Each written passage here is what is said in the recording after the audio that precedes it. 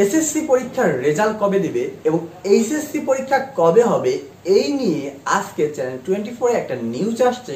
তো আমরা প্রথমেই সেই নিউজটি দেখব এবং তারপর নিউজটি একটু বিশ্লেষণ করার ট্রাই করব যে আসলে কি বলা হয়েছে। কারণ অধিকাংশ টাইম আমরা নিউজগুলো দেখি বাট সঠিক অর্থ বা কি বোঝাতে চেয়েছে তা আমরা সঠিকভাবে অনুধাবন করতে পারি না। তো প্রথমে আমরা নিউজটা একটু দেখে নেই। এ মাসের শেষে এসএসসি ও সমমানের পরীক্ষার ফল প্রকাশ করা হবে। এর কিছুদিন পরে ঘোষণা করা হবে এইচএসসি পরীক্ষার সময়সূচি, জানিয়েছে শিক্ষা বোর্ড কর্তৃপক্ষ। এই পরিস্থিতিতে ফল এবং পরীক্ষার প্রশ্নপত্র ছাপা এবং বিতরণের বিশেষ ব্যবস্থা নিয়েছে শিক্ষা মন্ত্রণালয়। দুমাস পেরোলো করোনা পরিস্থিতির। অঘোষিত লকডাউনে বন্ধ সব শিক্ষা প্রতিষ্ঠান, যদিও সীমিত আকারে চলছে অনলাইন ভিত্তিক শিক্ষা কার্যক্রম। এই সময় তাই এলোমেলো শিক্ষা পঞ্জিকা। গত কয়েক বছরে এসএসসি ও সমমানের পরীক্ষার ফল ঘোষণা হতো মে মাসের প্রথম সপ্তাহে।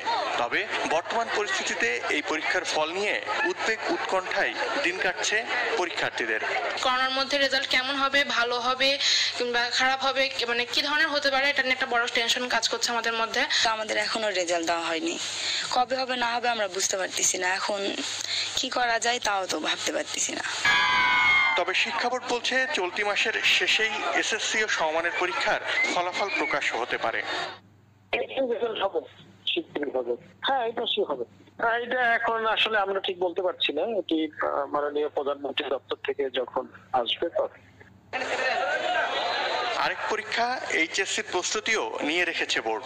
এসএসসির ফল প্রকাশের কিছুদিনের মধ্যেই এইচএসসি পরীক্ষার সময়সূচি ঘোষণা করা হবে।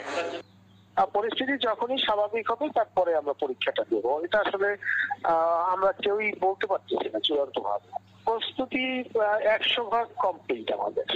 শুধু পরীক্ষাটা শুরু করা বাকি আর কি।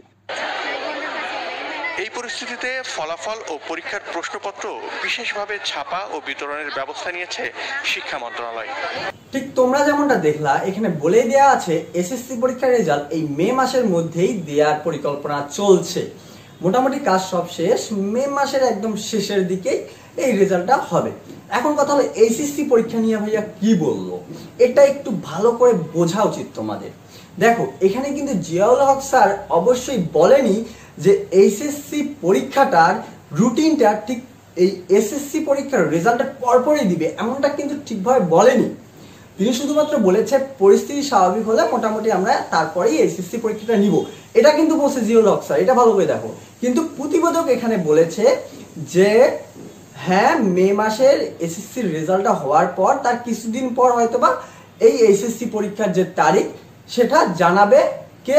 আমাদের শিক্ষা মন্ত্রণালয়। এটা কিন্তু বলেছে কে? Reporter not Ziaul Haque sir. তবে এখানে একটা কথা আছে।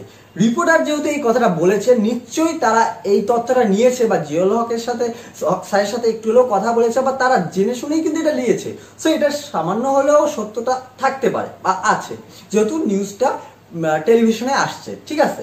তো এটা মাথায় রাখো এখানে দুইটা পার্ট একটা, এই তথ্যটা ডিরেক্ট বলেছে হলো রিপোর্টার, জিওল হক স্যারের বক্তব্যে কিন্তু এই পার্টটা নেই বাট এটা সত্যতা আছে, ঠিক আছে? এখন কথা হলো, দেখো বলেছে এইচএসসি পরীক্ষার যে তারিখ, সেটা জানানো হবে বা কবে হবে সেটা সম্পর্কে বলা হবে। হ্যাঁ স্বাভাবিক। স্টুডেন্টরা এখন অপেক্ষা করছে কবে এসএসসি পরীক্ষা হবে। তাদের উদ্বেগ আছে এই বিষয়টা নিয়ে জানার জন্য। তো শিক্ষা মন্ত্রণালয় ঠিক এসএসসি পরীক্ষার রেজাল্ট হলো, তারপর হয়তো বা জানাই দিবে যে আমরা এই মাসে নেওয়ার প্ল্যান করছি সেপ্টেম্বর হোক আর আগস্ট হোক মে হোক জুন হোক, যেই মাসেই হোক না কেন, তারা মেইনলি জানাই দিবে তোমাদের। আসলে আমরা এই মাসে পরীক্ষাটা নেওয়ার টার্গেট নিচ্ছি। নট যে একবারে স্পেসিফিক একটা রুটিন দিবে, কারণ কি এখানে কিন্তু জিওলগ স্যার বলেই দিয়েছে করোনা পরিস্থিতি স্বাভাবিক হওয়ার পরেই তারা এসএসসি পরীক্ষা নেবে। শিক্ষামন্ত্রী মহোদয় সেম কথা বলেছে। প্রধানমন্ত্রী আমাদের যে আছে, এই মহোদয় আমাদের সেম কথা বলেছে। সো এখানে ইভেন শিক্ষা সচিব যে আছে, উনিও সেম কথা বলেছে।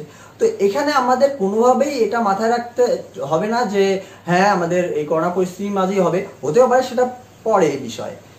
মেইন ফ্যাক্ট হলো, তোমাদের এই এসএসসি রেজাল্টের পর এইচএসসি পরীক্ষা কবে হবে, সেটা নিয়ে ধারণা দেয়া হবে। এটাই এই ভিডিওতে বল- হয়েছে। আশা করি তোমরা বিষয়টি বুঝতে পেরেছ। তো আমাদের চ্যানেলে আমরা ট্রাই করি অলওয়েজ রেফারেন্স সব কিছু বলার জন্য। যদি আমাদের ভিডিওগুলো ভালো লাগে থাকে, তাহলে অবভিয়াসলি লাইক অ্যান্ড আমাদের চ্যানেল নতুন হয়ে থাকলে একটা সাবস্ক্রাইব তো টেক কেয়ার গুড বাই